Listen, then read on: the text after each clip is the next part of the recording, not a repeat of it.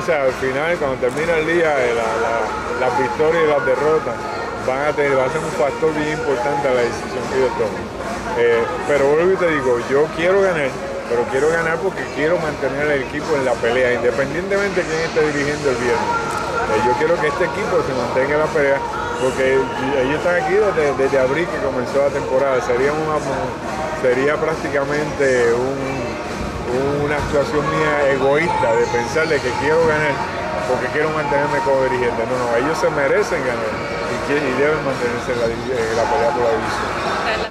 Y claro, diciéndome, mira, este, tú puedes estar aquí un día, una semana, un mes, toda la temporada, que el resto de la temporada, quién sabe.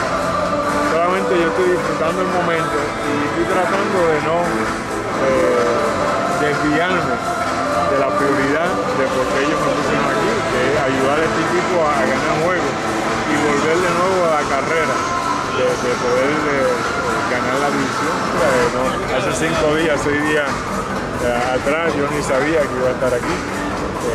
Y, el momento que aquí, cuando digo aquí, es no solamente dirigiendo un equipo de Grandes Ligas, es aquí en Puerto Rico, siendo el primer dirigente de Grandes Ligas eh, puertorriqueño y, y entonces dirigiendo en Puerto Rico, o sea, ni, ni me pensaba yo que iba a suceder. Precisamente Estar eso, aquí, eso, eso, ¿qué eso de, eso? estar Sí, bueno, eh, eso significa mucho, no solamente para mí individualmente, sino para mi familia y yo creo que para, para la, la nación completa. Yo creo que es una no- noticia refrescante en unos tiempos difíciles. eso de ser Edwin Rodríguez, el cual no sé que tiene el potencial de ser manager, pero como tú lo pusiste en Puerto Rico, yo ser el coach de tercera base de Rodríguez, es un sueño que, nunca pensé que iba a suceder, pero estoy súper contento que sucedió y que él haya sido el primer manager boricua por lo que él por lo que él ha traído a la comunidad de Puerto Rico, eh, lo mucho que él me- me ha ayudado en mi carrera como coach. Estoy súper feliz como que si me hayan nombrado a mí. Verdad que este, Alex Cora me llamó esa misma noche dándome la noticia y se me pararon los pelos, de verdad que, que, este, es un orgullo para nosotros, para todo Puerto Rico, este, es algo grande, algo que se veía venir por otro, otros dirigentes que se esperaba que iban a ser primero, pero se le dio a Edwin y de verdad que, que lo admiro mucho como persona y ser humano y de verdad que se merece eso y mucho más. ¿Crees que se queda ahí? ¿Se queda? Bueno, pues de verdad que como, como yo estaba hablando de lo mío, tú sabes, el día a día, este, ahora mismo es interino, eh, no se sabe bien qué es lo que vaya a pasar, este, ojalá que pueda quedarse y que pueda ser el fin. No, como, como puertorriqueño me siento bien orgulloso por Edwin.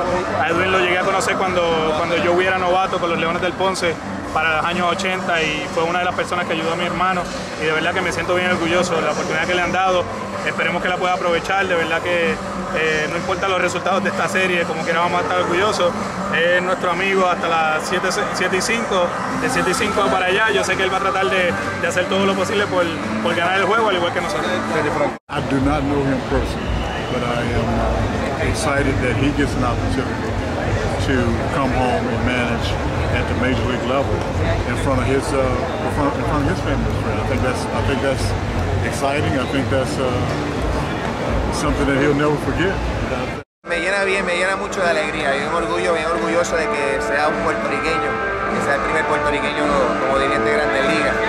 Y que sea él. Edwin, Edwin no solamente lo conozco porque jugué contra él, pero familia es parte de esto, ya que Edwin fue el escado que, que firmó mi hermano como pelotero profesional cuando él trabajaba para la, para la organización de los mellizos de Minnesota.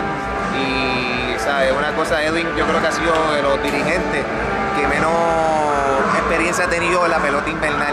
Yo creo que él nunca había dirigido aquí, él estaba como gerente general y coach, y que ahora sea el primer puertorriqueño en dirigir grandes ligas sin haber pues, tocado la pelota invernal como dirigente, pues me nos llena de orgullo. Y yo antes de empezar a practicar, yo lo vi que salió un momentito aquí, él, él caminó todo el parque chequeando y en verdad él dice que se siente como si fuera un nene chiquito, o sea, que él sabe que las cosas pues es un momento difícil, pero que también se lo ha gozado porque la experiencia que está pasando no llega todos los días y él dice que va a tratar de hacer lo mejor que pueda en el tiempo que tiene de hacerlo.